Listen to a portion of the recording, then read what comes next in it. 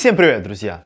Часто беженцам в Польше может понадобиться такая юридическая помощь, э, в основном которая нужна на уровне консультаций, либо разъяснения тех возможностей, которые есть у беженцев в Польше. И, конечно же, есть как платные услуги юристов, но также есть и право на бесплатного адвоката, которое положено как гражданам Польши, так и иностранцам по закону. И польский Минюст сообщает, что беженцы могут рассчитывать на такую бесплатную юридическую помощь от адвокатов Польши по всей стране.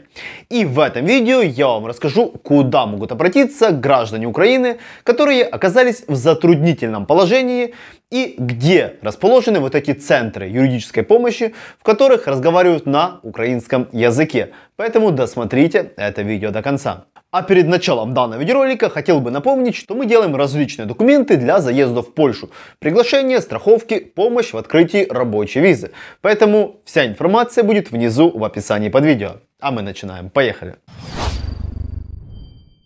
Так вот, Минюст Польши напоминает о возможности такого использования системы бесплатной юридической помощи для беженцев из Украины. Основание для нее это закон от 5 августа 2015 года о бесплатной юридической помощи э, для гражданских консультаций. Так вот, пользоваться такой помощью могут все лица, которые проживают в Польше, в том числе и иностранцы. При этом подчеркивается, что заранее подавать заявление о предоставлении э, какой-либо международной защиты не обязательно. Помощь будет вам оказана в любом случае. И в настоящее время можно обратиться в более чем полторы тысячи пунктов бесплатной помощи в Польше. Что, конечно же, немаловажно, иностранец может выбрать специализированный пункт, где помощь будет оказана как на русском, так и на украинском, так и на английском языках. В других случаях есть также возможность это привести с собой переводчика, если вдруг нету людей, которые разговаривают на языках, которые я перечислил выше. И такая бесплатная помощь может быть оказана лично или посредством э, какой-либо дистанционной связи. Поэтому это уже вы выясните самостоятельно. И в разных городах Польши есть такие пункты помощи, как я говорил. Но как же найти эту юридическую помощь в вашем городе? Так вот, большинство пунктов помощи, они, конечно же, тематические и работают именно в своем направлении юриспруденции. Однако есть и общие центры помощи для украинцев в Польше.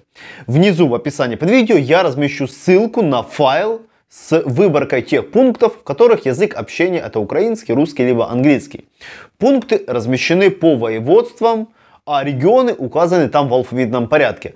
Поэтому вы можете скачать этот файл, ознакомиться, если вам нужна вот такая юридическая помощь. Но также под конец видео хотел бы выделить э, такую помощь в ряде городов, которые могут вам помочь. Первое это Познань. Там местные власти создали такой специальный контактный центр, где лица с такой временной защитой могут выяснить самые расхожие вопросы и уточнить, где и когда они смогут получить бесплатную юридическую помощь. Э, контакты вы можете видеть на экране. Следующая помощь это помощь украинцам в Лодзе. Так вот, в этом городе э, также оказывают бесплатную юридическую помощь. Ее делают адвокаты Лодзинской юридической палаты. Записаться на прием можно по электронному адресу, который видите на экране, либо по телефону конкретного юриста. Также видите разные контакты на экране. И также это помощь украинцам в таком городе, как Краков. В Кракове на данный момент известно о следующих пунктах оказания бесплатной юридической помощи, которые опять же вы видите у себя на экране. Если вы не входите в один из этих троих городов, то внизу будет PDF-файл, который, конечно же, вы можете скачать и найти тот пункт, который вам ближе всего. Ну что же, друзья, надеюсь, я в этом видео вам помог не только вот этой информацией с PDF-файлом, но также и дал вам э, понимание того, что в Польше можно получить, получить бесплатно юридическую консультацию. Поэтому, если это видео было полезным, то поставьте лайк и подпишитесь на этот канал. А на этом у меня все. Спасибо за просмотр и до встречи на следующих видео. Всем пока!